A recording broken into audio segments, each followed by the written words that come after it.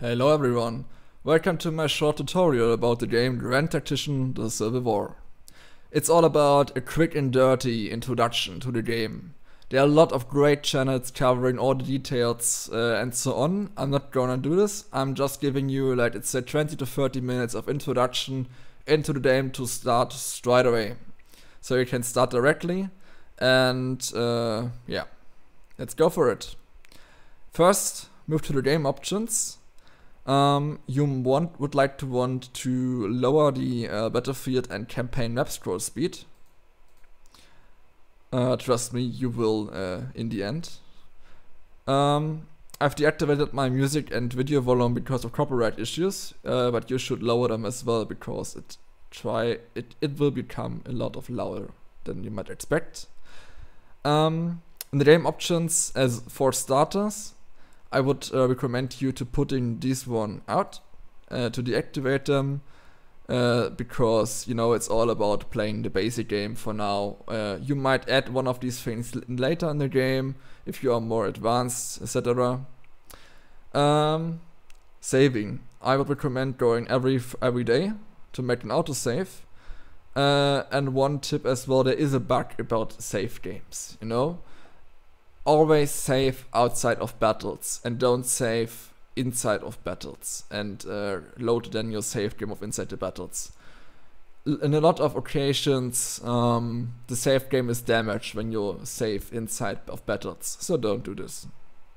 Alright, let's go straight to the campaign. My recommendation start with spring 1861. Let's uh, just take the Confederacy because you know, many of my viewers usually uh, play as Confederates in, for example, War of Rights, so I'm gonna stick to that. And of course, yeah, outside of, uh, aside from things like ideology, Confederates are, from my point of view, military, uh, the, the, more challenged and uh, the more interesting ones. But of course, if you want to play as Union, the things I'm gonna say you are counting for Union as well. Alright, uh, policies. You can choose up to three. Either way, you take the historical ones or you take your own. There's an option for putting random ones, but honestly, yeah, th there's no point in picking random ones if you can pick them at yourself. So, alright, what do we pick? Some uh, historically interested people around there might notice what had the original CSA missing. First thing is industry, so we pick industrialization. Alright, they had cotton, uh, going to pick King Cotton as well. King Cotton is about um, improving your farms and giving you more support in your state and especially your, the border states like Missouri and Kentucky. And you want that. And of course Arms Agent because we need weapons. Um, you can add some bonuses to the Union, to the other side, for example, so you push their national morale. I always do this because um, when you activate it, it's a longer campaign usually and don't end like in 1862 because the Union has more morale to keep up and capitulate much, uh, much, much more in the later game. The difficulty is all about the aggressiveness of the AI. If you have it on very easy, it's almost like a phony war in a Second World War. If you put it on very hard, it's almost like a, a Russian uh, push. You can decide on your own. I go with mediocre. Alright, Let's go into it and start.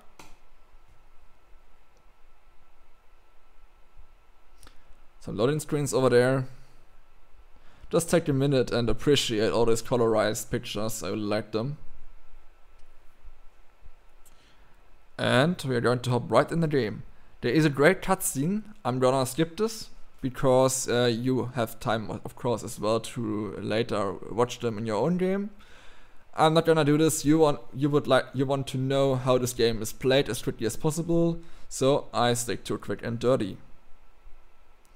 Alright, skip the intro. And you're right there. First, read the field book. Really do.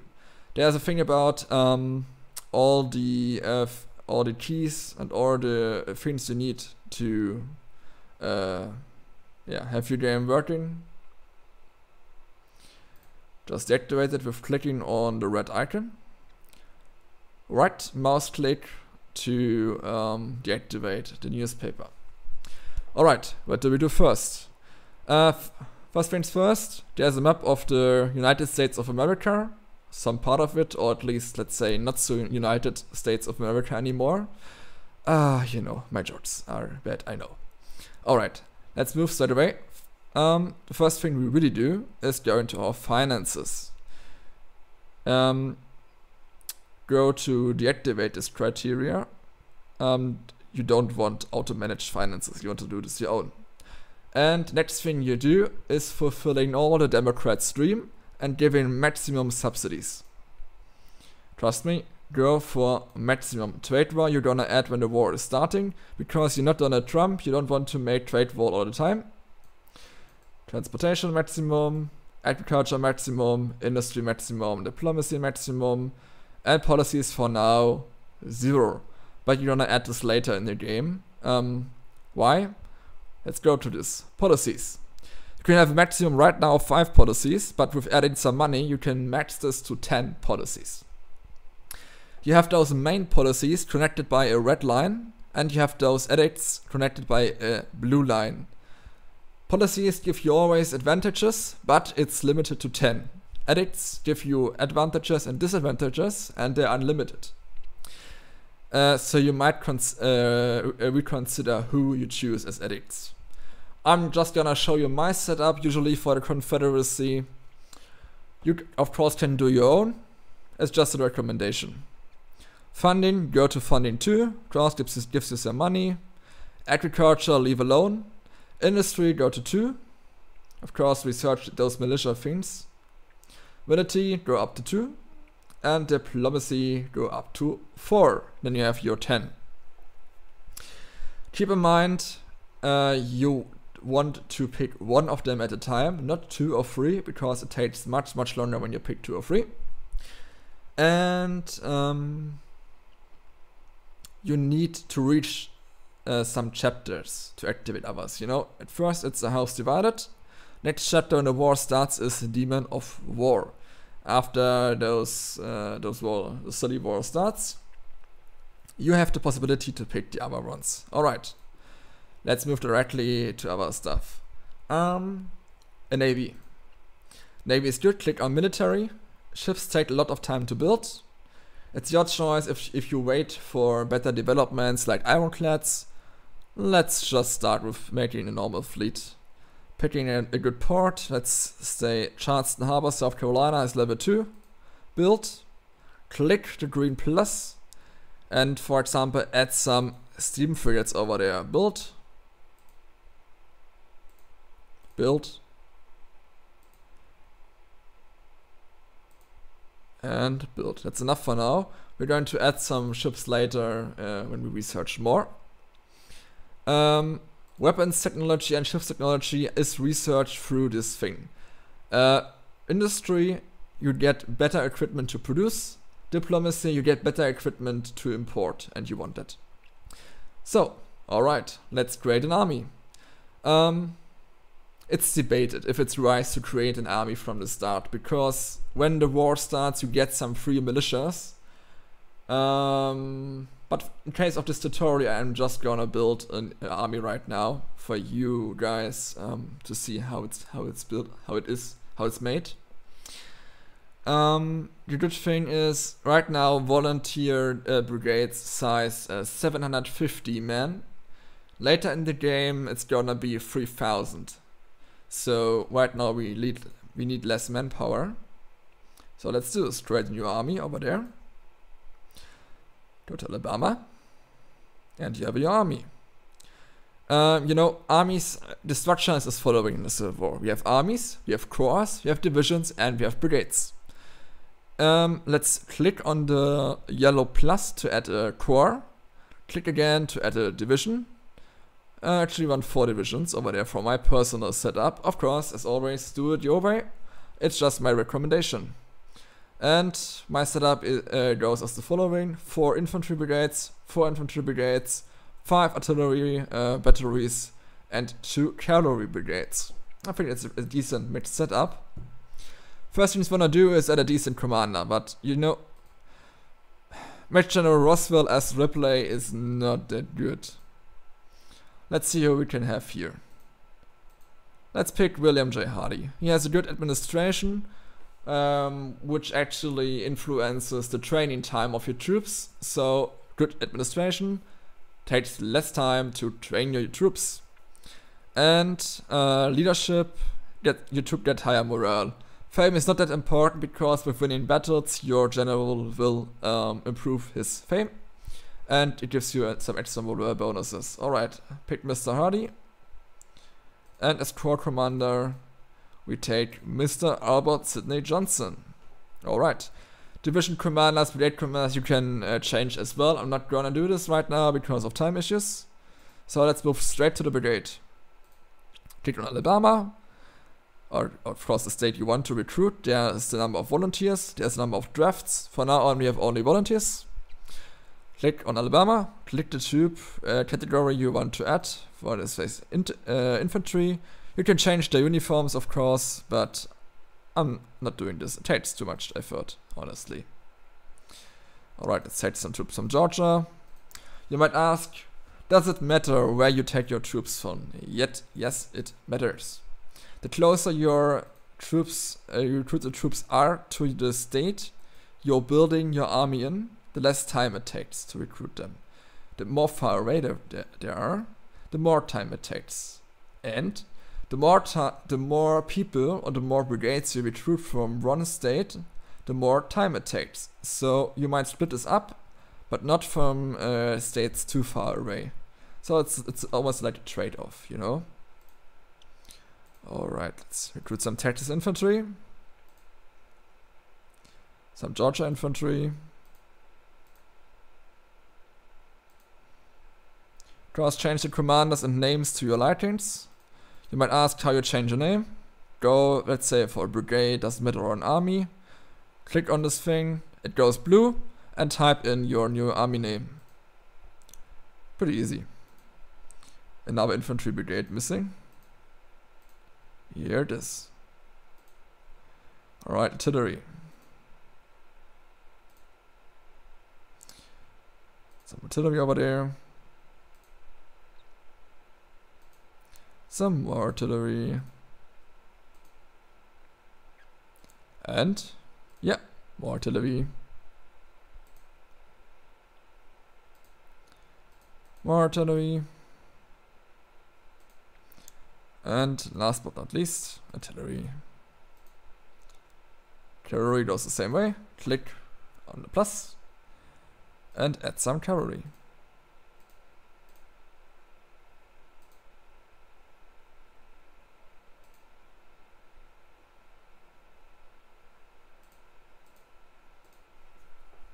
Alright, right now we have not not many weapons uh, to change in them, so we are going to do this later. Right now, let's go to 50 times higher speed. Take our time to look at some border states. Border states are states like Missouri and Kentucky, which are the most important ones. Um, if you drive all Union armies out of the state and in case of Kentucky at least, capture the state's capital of Louisville, you are getting these states. Only the border states. So, if you manage to drive the Union Army right away out of Missouri, Missouri is seceding. And that's one thing we want, of course, as Confederates. And it gives you a huge bonus. Imagine if you get like Missouri and Kentucky in the first weeks of the war. It's really a great buff for your country. More policies.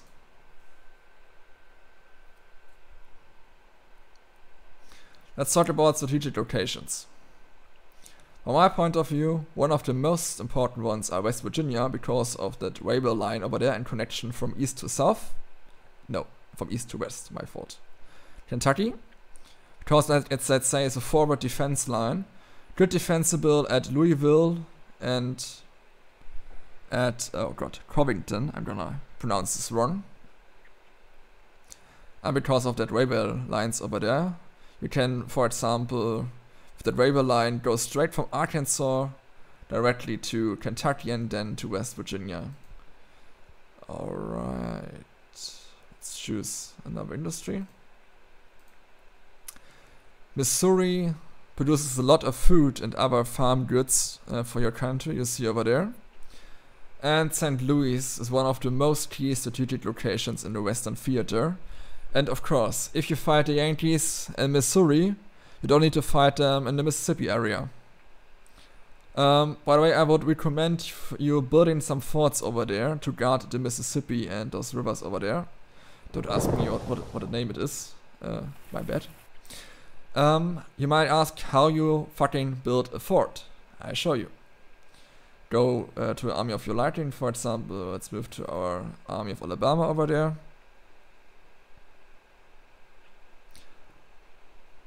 Huh? There are some bugs over there. Now it's working. Um, by the way, corps and armies move separately on, on the map, so you have to move each corps and army separately.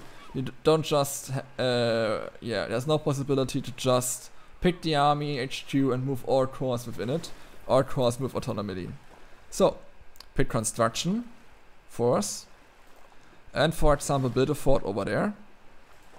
I'm just doing it over here, of course you do it in the Mississippi area, click left, and then it's gonna build in time. Just keep your army in the area and, know, it's building.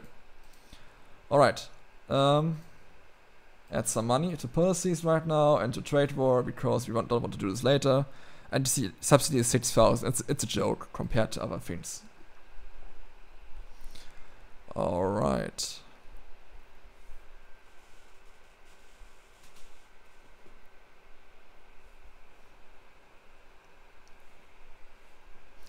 Takes some time.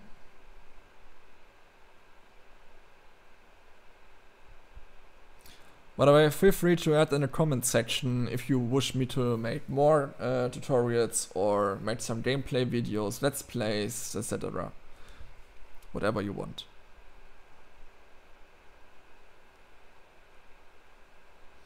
By the way, over there you have an Overwatch. Oh, everything important. Like the fielded uh, military and uh, national support, etc.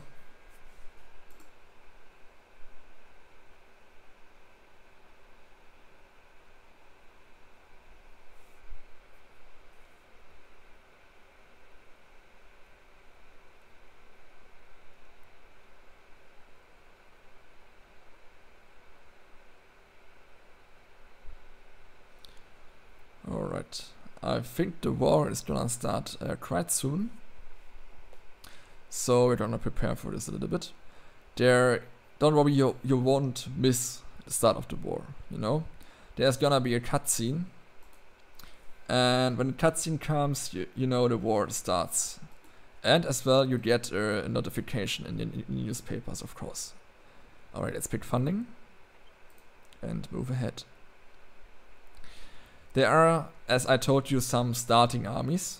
Right, there's a cutscene, there's a war, and pause. Alright. What you want to do first, of course, is to, is to go through all your armies and give them decent equipment. We start over there for our tutorial with the Missouri State Guard we have. You see Mr. Sterling Price has some 1,800 men under his command. And the Department of the West numbers 1500 right now, so we have some more, and we're gonna use this. Add two divisions. You wanna keep them uh, quite uh, poor, because... excuse me. Because on a battlefield it's much more easy to um, work with these uh, poor divisions. Because let's say in a better situation, you just need to pick one of them. Uh, for example, one division HQ and move all the division over there. And you don't want some artillery pieces standing right next to your infantry line. That's why. Ah, I forgot the command, adding uh, decent commanders. Yeah, we have some Lieutenant Colonel over there. Some Robert Edward Lee. I have a good feeling about him, so I might add him to this, this command over there. Kirby Smith, yeah, good but not perfect. What do we have here? Mr. Anderson, he is decent, of course. But, who do we have here? Mr. James Longstreet. Let's take him as division command. Alright, he works fine as uh, this command over there. Equip him with some decent uh, weapons. Always take rifled muskets, or, ri or rifled, yeah, rifled muskets. The smoothbore muskets, the Springfield muskets are useless. Just pick the rifled ones. They have so much advantages. Alright, add some new artillery piece. I'll go with James rifles. And pick these uh, core-sized army over there. Right mouse button and get to St. Louis. We force march them. And of course, there are other armies over there. For example, you get some starting armies in uh, Virginia. So if you want to add a central command for all these armies, which we are going to do, go to military, new army, Virginia. Here it is. Then go to transfer units, it's the middle thing over there. Move to these armies you want to add. For example, in my case, I want to add Army of the Northwest, defending West Virginia right now.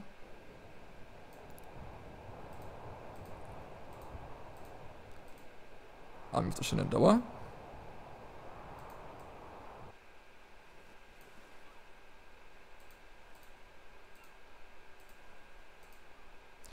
And Army of the Potomac. Just click, double click on them and then drag and drop them over there. Alright, of course you you would like to make them uh, uh, in, the same manner we have did our Army of Alabama before. Just equip, add some divisions just as you like. I'm not gonna do this right now because you've already done it.